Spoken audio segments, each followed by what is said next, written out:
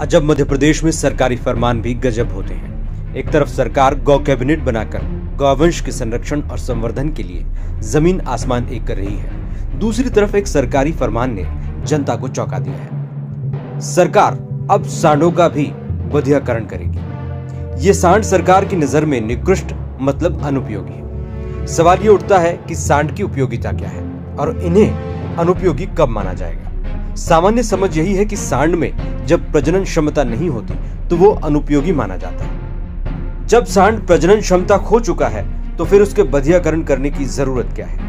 दरअसल मध्य प्रदेश सरकार ने आदेश दिया कि 12 लाख सांडों का 12 करोड़ रुपए के बजट से बधियाकरण किया जाए। इस आदेश ने बधियाकरण के प्रयासों को सार्वजनिक कर दिया। वैसे तो हर सरकारी आदेश किसी न किसी को किसी न किसी तरह से बधियाकरण करता है, चाहे सांड हो, चाहे जनता, चाहे कुपोषण हो चाहे सरकारी अभियान वो कभी भी पूरी तरह सफल नहीं होता।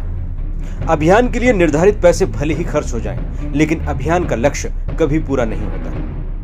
सांडों को इसी सरकारी चाल से राहत महसूस हो सकती है कि शायद पैसे की बंदरबाट उनके बधियाकरण के नाम पर हो जाए लेकिन वे बधिया होने से बच जाएँ।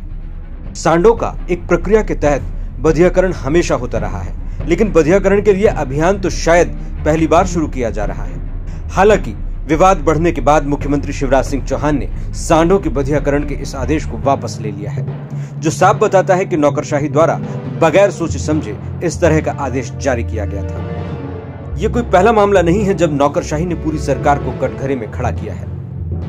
मुख्यमंत्री खुद ये कह चुके हैं कि भोपाल में बैठे अफसर जैसा दिखाते हैं, अगर उस पर भरोसा कर लिया जाए तो बड़ी समस्याएँ पैदा हो जाएँगी।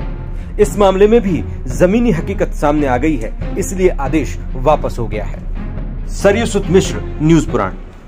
आप देखते रहिए न्यूज़ पुराण। यदि आपको ये वीडियो पसंद आए तो कृपया लाइक करें, सब्सक्राइब करें और बेल आइकन को ज़रूर क्लिक करें।